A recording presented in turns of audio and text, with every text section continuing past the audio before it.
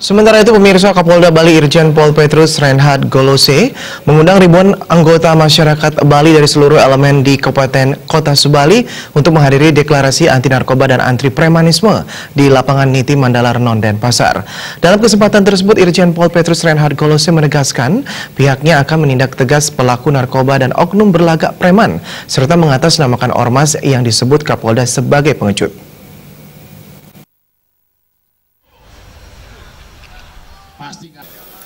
Isi deklarasi tersebut di antaranya adalah menolak dengan tegas dan menyatakan perang terhadap segala bentuk penyalahgunaan narkoba dan premanisme di Bali. Menurut Kapolda Bali Irjen Pol Petrus Reinhard Golose, deklarasi ini merupakan ekspektasi masyarakat Bali. Berdasarkan survei yang telah dilakukan sebelum dirinya menjabat Kapolda Bali hingga telah menjabat selama satu tahun 8 bulan, masyarakat Bali tetap menginginkan diberantasnya narkoba dan premanisme di Pulau Dewata. Karena budi pekerti yang luar biasa, masyarakat Bali lebih banyak memilih diam.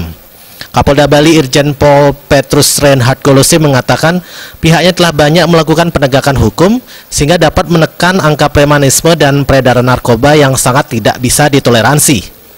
Tak dipungkiri, para pelaku ini juga sempat membuat kekacauan di lapas sehingga dikirim ke Nusa Kambangan. Kapolda Bali secara tegas menyatakan Polri didukung rakyat yang dibuktikan dengan hadirnya belasan ribu anggota masyarakat dari berbagai komponen di lapangan Puputan Margarana Renon untuk mendeklarasikan sikap anti narkoba dan premanisme melalui perwakilan agama, organisasi, dan DPRD Bali. Melalui deklarasi ini, masyarakat Bali tentu menyambut acara internasional IMF dan World Bank Oktober tanpa rasa takut dari premanisme. Pihaknya juga akan membuat patung fearless perwujudan rasa tidak takut masyarakat Bali. Pihaknya akan mengambil tindakan tegas dengan dasar hukum dan menyatakan perang terhadap narkoba dan premanisme. Dan saya betul-betul nyatakan perang kepada mereka. Tidak boleh ada institusi yang dikecam.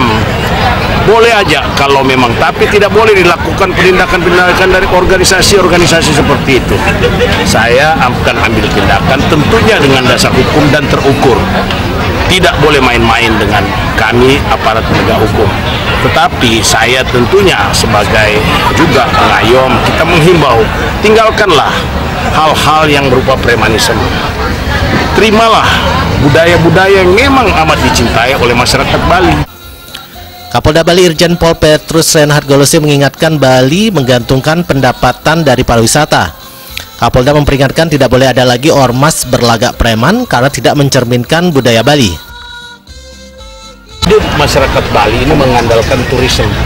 Saya dari dulu tidak menginginkan ada tulisan seakan-akan organisasi-organisasi seperti Laskar Bali, Baladika, Pemuda Bali Bersatu itu itu tidak mencerminkan orang Bali sampai ditulis di buku-buku internasional seakan ada organized crime setingkat Yakuza tidak mencerminkan budaya Bali.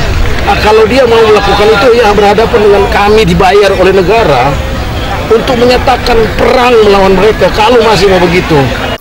Kapolda Bali menyatakan prihatin banyak orang Bali yang dikenal santun menjadi pemakai maupun pengedar narkoba. Pihaknya berharap desa adat dapat berperan memberikan sanksi berupa kasepekang sehingga pelaku tidak hanya dikenakan hukum positif. Deklarasi anti narkoba dan premanisme ini diisi penantangan oleh PHDI Bali, MUDP, dan MUI. Dalam kesempatan tersebut, Polda Bali juga menyerahkan penghargaan kepada jajarannya yang telah sukses mengungkap kasus peredaran narkoba dan salah satunya Satreskrim Polresta dan Pasar. Sufiatne Bali TV